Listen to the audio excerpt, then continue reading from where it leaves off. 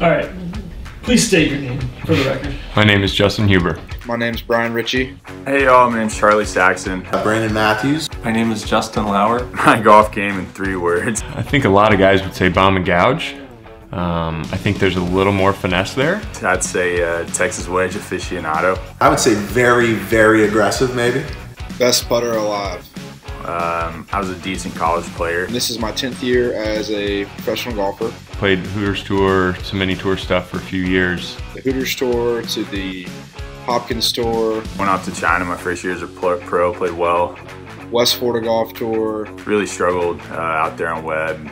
Played really lousy actually. a lot of mini tours. My biggest fashion regret is probably pleats. I, I used to wear a white belt with black pants and think it was really nice. And then I had a pair of white Oakleys to go with it. Gotta be white belts, just was never a good idea. Probably that I ever wore a white belt. It's just not a good look. Yeah, won the state championship in loudmouth pants with my school colors.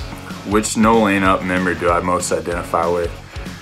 I'd have to say Big Randy. It's got to be Big Randy.